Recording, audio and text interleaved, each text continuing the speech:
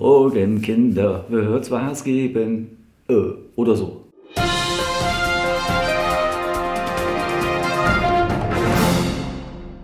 Hallo und herzlich willkommen bei mir auf meinem Kanal zur Laberecke.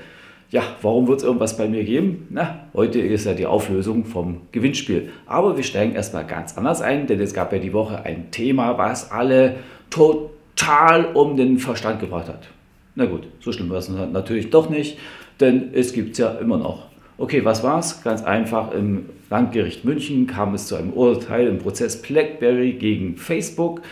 Das heißt, äh, Facebook hat eigentlich umgehend seine Messenger-Apps äh, aus dem Netz zu nehmen. Sprich, WhatsApp, Instagram und der eigene Messenger halt, da es ein paar Patentsrechtsverletzungen gibt. Jetzt sagt man natürlich, solange es nicht rechtskräftig ist, passiert eh nichts. Äh, das ist ein kleiner Trugschluss, wenn sich jetzt BlackBerry doch entschließt zu sagen, okay, wir möchten eine vorläufige Verfügung erwirken, müssen sie 1,6 Millionen Euro beim Landgericht München hinterlegen. Dann wäre Facebook sofort in der Bredouille und müsste alle Apps äh, faktisch auch vom Netz nehmen für Deutschland, beziehungsweise ruckzuck Upgrades bringen. Also ich würde aber sagen, keine Panik, weil die 1,6 Millionen sind bisher noch nicht hinterlegt, so wie ich weiß. Wenn es natürlich dann passiert, dass BlackBerry sagt, okay, wir äh, hinterlegen das Geld, die 1,6 Millionen Euro als Sicherheit beim Landgericht München, dann ist natürlich Facebook im Zugzwang und müsste eigentlich ruckzuck die Apps schließen, wie gesagt. Wie gesagt, ich würde mir da keine Sorgen machen, weil ich kann mir nicht vorstellen, dass Facebook auf Teufel kommt raus alles schließt. Eher achtet bitte auf Upgrades. Da wird dann Facebook natürlich dann aktiv und sagt eben halt, okay, die neuen Funktionen müssen wir dann wieder herausnehmen, die eben halt in diesem Patentstreit halt strittig sind. Streit, strittig? Ja, okay. Das war es eigentlich. Da braucht man eigentlich nicht irgendwie groß Panik schieben oder Angst haben oder gleich sagen, wir müssen unbedingt alternative Messenger nutzen. Also ganz ruhig bleiben, keine Angst. Passt schon, wie der Bayer sagt. So, dann möchte ich schnell auch hier nochmal zum Thema Klima ganz kurz kommen. Ich habe jetzt, nein, das war nicht die Woche, letzte Woche gelesen, eine Klimaaktivistin ist vom Notendurchschnitt 2 auf 4 gerutscht, weil sie an Fridays for Futures teilnimmt. Ja, das ist eben halt der Nachteil, wenn man eben halt Unterricht ausfallen lässt und den auch nicht nachholt. Weil ich kann mir nicht vorstellen, dass es nur an dem äh, Freitag liegt, weil ich denke mir, sie wird sich auch noch weiter engagieren. Finde ich ja so nicht schlecht. Aber Leute, Schule geht eigentlich vor, weil dort stellt ihr die Weichen für eure Zukunft. Sprich, ich bin ja eigentlich, sage ich mal, ein alter Sack, der nicht mehr so viel lernen kann, will, soll, keine Ahnung wie. Äh, wenn ich in meiner Firma irgendwo hingehe und sage, ich würde mich gern weiterbilden, ich hätte gern einen Englischkurs oder sonst was, sagt man bloß, wozu brauchst du das eigentlich? Ne? Aber ihr seid unsere Zukunft, Leute. Ihr jungen Leute, ihr Kiddies, ihr Teenies, wer auch immer. Ähm, wenn ihr überlegt, wir brauchen in Zukunft Deichbauer, denn der Meeresspiegel steigt, da ist dann halt der Bauingenieur gefragt. Wir brauchen, ähm, wie soll ich sagen, Klimaforscher verstärkt. Wir brauchen Umweltforscher verstärkt. Wir benötigen, ähm, ja, wie, wie, nennen die sich aus Nahrungsmittelindustrie? Also nicht nur Bauern. Ne? Also ja, ist klar, Bauern brauchen wir dann auch. Aber ähm, Gen, ja, Gentechniker könnte man auch so sagen, um unsere Pflanzen dann zu schützen. Ähm, ja, das ist echt krass, weil ich kann mir wirklich vorstellen, oder besser gesagt, ich bin eigentlich der Meinung, die Kipppunkte sind eigentlich so gut wie erreicht, auch wenn ich kein Wissenschaftler bin äh, oder sogar auch überschritten. Ähm, da stelle ich mir eher die Zukunft so vor, dass wir mehr oder weniger auf Gewächshäuser gehen müssen, um uns überhaupt noch ernähren zu können und eben halt mit den hohen Temperaturen uns arrangieren müssen. Da sind eben halt die Ingenieure gefragt, die Wissenschaftler gefragt. Das seid ihr die kommende Zukunft. Also denkt mal darüber nach. Fridays for Future mag zwar gut und schön sein, aber ihr müsst daran denken, ihr seid für uns halt wichtig. Ne? Ohne euch können auch wir das nicht schaffen. Nicht nur die Alten, die jetzt gerade da sind. Aber apropos mal ein kurzes Beispiel, was auch ohne Fridays for Futures geht. Ich arbeite in einer sehr großen Firma. Wir haben natürlich auch die Möglichkeiten zu sagen, okay, wir geben dann ein paar Euros mehr aus für gute Umwelttechnik und das ist eben halt einfacher für große Firmen. Äh, jetzt habe ich mich mal mit einem Techniker bei uns, einem Haustechniker, unterhalten. Der hat gesagt, okay, wir ersetzen jetzt langsam aber sicher die Heizung in den Produktionsbereichen, sprich sie werden modernisiert, äh, sind zwar ziemlich teuer, kosten äh, um die 35.000 Euro. Also jetzt hat er einen ersetzt und er hat binnen drei Monate 15.000 Euro Ersparnis äh, erreicht. Sprich die eingesetzten Kosten für die Heizung plus die Ersparnis beim Gasverbrauch. Also bei uns wird mit Gas beheizt, weil wir benötigen E-Gas für Produktionsprozesse. Also, wow, nicht schlecht. In drei Monaten, in nur drei Monaten. Aber wiederum, hier muss man wirklich auch sagen, wieder, leider, die großen Firmen haben es halt einfacher als wie ein mittelständiges Unternehmen. Und da ist auch die Politik gefragt, dass sie auch da richtige Weiche stellt, damit auch diese kleinen Unternehmen überleben können. Also es muss ja nicht nur so sein, dass es unbedingt auf uns, auf unsere Kosten geht. Wenn die Unternehmen tatsächlich in die Pflicht genommen werden, dann klappt das auch so, ohne großartiges Pipapo mit CO2-Steuer und sonst was. Also es geht tatsächlich. Gut, dann habe ich hier noch was Positives. Ähm, Abonnenten. Ich habe jetzt zum Zeitpunkt, wo ich jetzt gerade aufnehme, 410 Abonnenten. Das habe ich ja gar nicht erwartet dieses Jahr. Äh, ich dachte so 200, 250. Ja, dann ist dann langsam so Ruhe, weil ich so ein Mini-Kanal bin. Aber das Überraschende ist, ich habe jetzt 410 Abonnenten. Dafür Dankeschön. Ich mache aber keine Abonnentenverlosung, liebe Abonnenten weil ich habe gesagt beim, bei der letzten Verlosung, ich mache den nächsten Sprung erst bei 500 oder die nächste Verlosung bei 500 Abonnenten. Da habe ich auch schon was Besonderes mir zurückgelegt, was auch so nicht reinkommt in den Pool, den ich mal hin und wieder verlosen werde. So, das dazu also wirklich vielen Dank dafür. Ich bin mehr als begeistert. Ja, darf man so sagen. Ne? Dankeschön. Also, ihr seid super. Okay, dann bin ich jetzt noch über etwas gestolpert. Ja, gestolpert kann man nicht sagen. Ich verfolge die Seite eh schon seit geraumer Zeit und unterstütze auch das Team.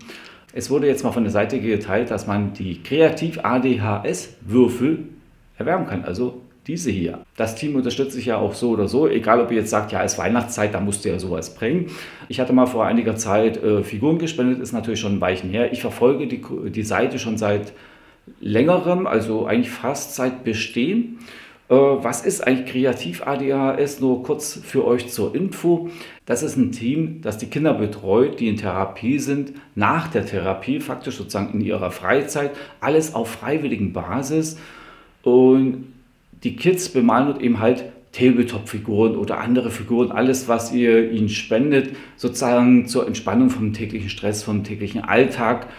Äh, ich finde, das ist schon eine sehr wichtige Arbeit. Vor allem, das ist eine eine eigennützige Arbeit, ohne dass die Leute was kriegen und das gehört eigentlich unterstützt. Was ist hier passiert? Das äh, Kreativ-ADHS-Team arbeitet mit dem Außenposten zusammen.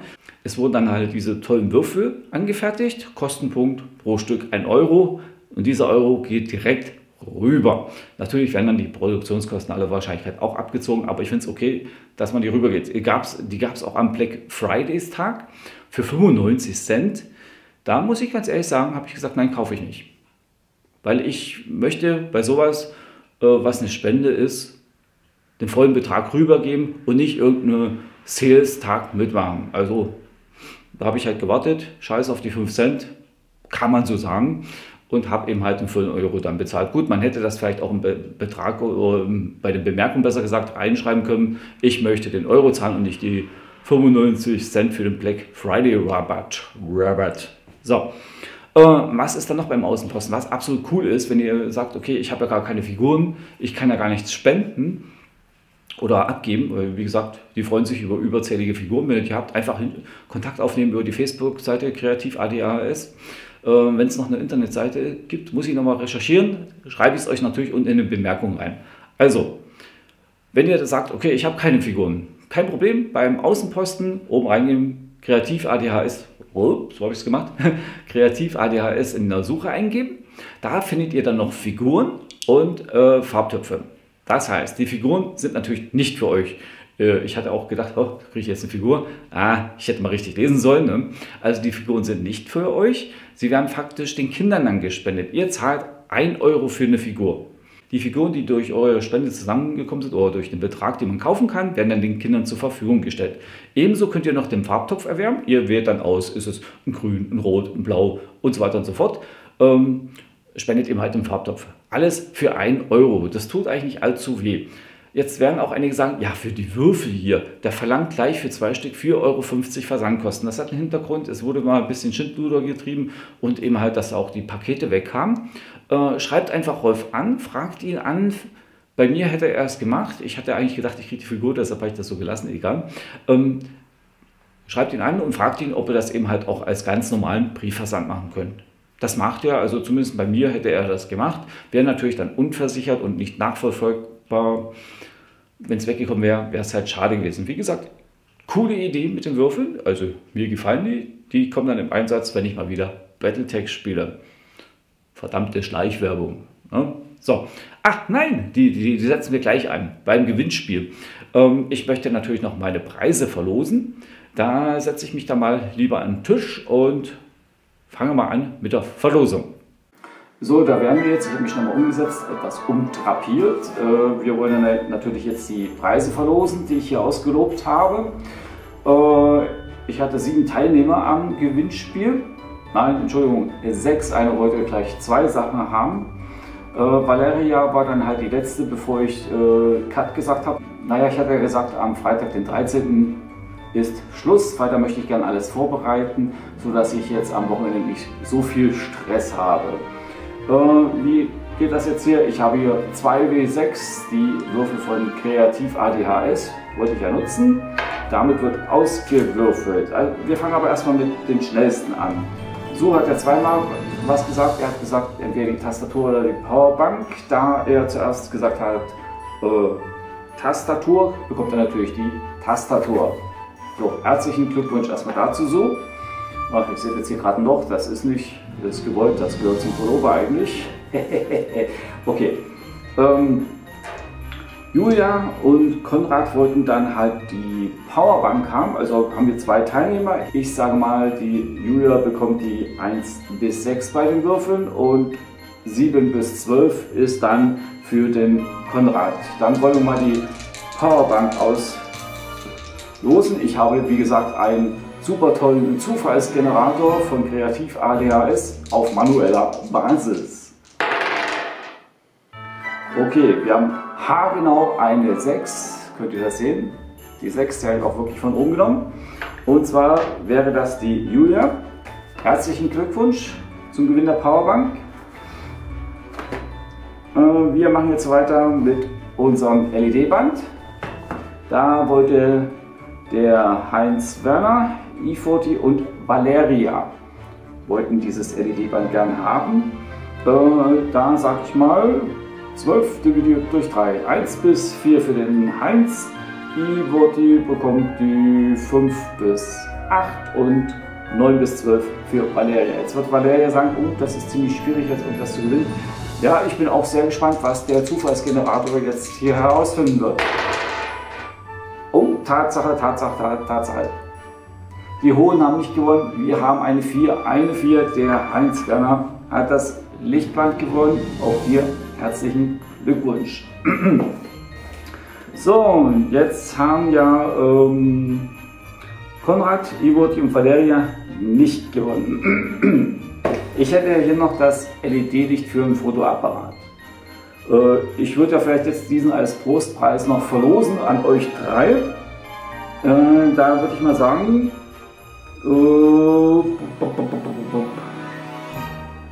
der, genau, jetzt bin ich kurz ins Stocken gekommen. So Leute, Live-Modus halt. Ne? Der Konrad bekommt die 1 bis 4, I wieder die 5 bis 6 und die Valeria, wie hast du gesagt, 5 bis 6, 5 bis 8 und die Valeria wieder ab 9. Na, da bin ich mal gespannt, wer jetzt den Trostpreis faktisch erwischt. Ja, nein, ich muss das nochmal machen. Der wäre mir fast runtergefallen, ich habe ihn gestoppt. Ui, ui. Also liebe Valeria, wenn du tatsächlich den Trostpreis haben möchtest, du hast gewonnen. Die 12 ist tatsächlich gefallen. Also, wenn du willst, wenn du es nicht möchtest, dann schreibst du ihm halt rein oder melde dich halt, wie gesagt, da muss ich mal schauen, wie ich das dann weiter verlose. Also herzlichen Glückwunsch. So, ich stelle mich da mal wieder hin und gebe die weiteren Modalitäten, Modalitäten für dieses Gewinnspiel bekannt. Und ich hoffe mal, ihr meldet euch alle und vergesst mich nicht. Denn die letzten Gewinner haben sich irgendwie nie bei mir gemeldet. Schade eigentlich, ich hätte ja noch schöne Buntstifte und so weiter und so fort. Na, da gehen die demnächst halt wieder in den Pool. So, bis gleich. Ich trapiere mich mal wieder anderweitig um. Herzlichen Glückwunsch an alle Gewinner. Ich hoffe, ihr habt dann Spaß mit eurem Preis. Meldet euch bitte unter der E-Mail-Adresse ulrikerenskimeinewelt.gmx.de. Schreibt mir dort bitte eure Adresse rein, dass ich das vielleicht noch rechtzeitig vor Weihnachten wegbekomme und euch alles zusenden kann. Das wäre sehr nett von euch. So, für heute soll es das jetzt erst einmal gewesen sein. Wir sehen uns dann nochmal nächste Woche Mittwoch auf jeden Fall mit einem Video und einer Laberecke kurz vor Weihnachten. Die wird nicht allzu lang sein, also keine Angst, ich werde euch da nicht extra mit Klimawandel, Politik und sonstigen Themen zumüllen. Gut, lange Rede, kurzer Sinn. Ich wünsche euch jetzt ein schönes Wochenende. Genießt die Zeit und erholt euch gut von der Arbeit. Wir sehen uns nächste Woche, wie gesagt, wieder auf meinem Kanal. Ciao, ciao und bye bye, sagt eure Ulrich Krenzki. Macht's gut. Oh, und wenn euch das Video gefallen hat, Daumen nach oben wäre ganz nett. Und vielleicht abonniert ihr mich auch. Möchtet ihr benachrichtigt werden, einfach die Glocke oben anmachen. Also, tschüss.